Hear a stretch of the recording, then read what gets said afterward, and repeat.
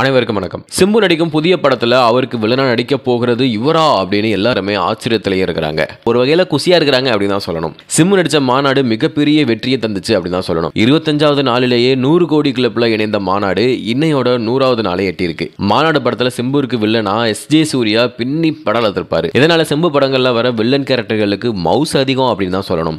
மாநாடு படத்தை தொடர்ந்து வரிசையாக சிம்பு நடிக்கும் படங்கள் ரிலீஸுக்கு தயாராகி வருகிறது. ஹன்சிகாவோட மகா கௌதம் மேனனின் வெந்து தணிந்தது காடு. ஓபிலியன் கிருஷ்ணனோட பத்து தலை கோகுலின் கொரோனா குமார் ஆகிய படங்களை நடிச்சு வராரு.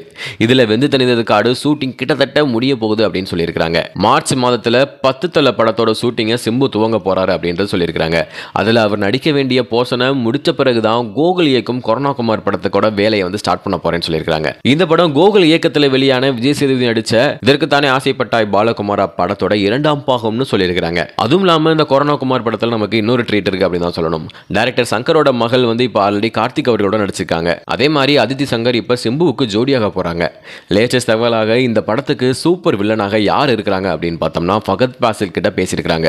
அவருக்கு இந்த கேரக்டர் ரொம்ப பிடிச்சதாகவும் கூடிய விரைவில் அதுக்கான அறிவிப்பை கொடுத்துருவாங்க அப்படின்னு சொல்றாங்க.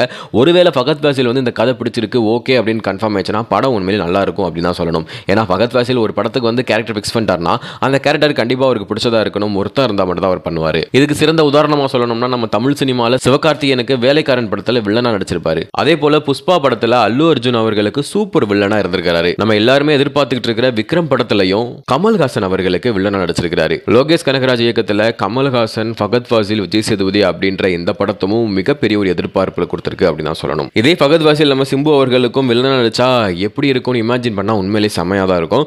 உங்களுக்கு ஃபகத் ஃபாசில் வில்லனா நம்ம சிம்பு அவர்கள் நடிச்சதா எப்படி இருக்கும் அப்படின்றத கீழே கமெண்ட் பாக்ஸில் போட்டுருங்க.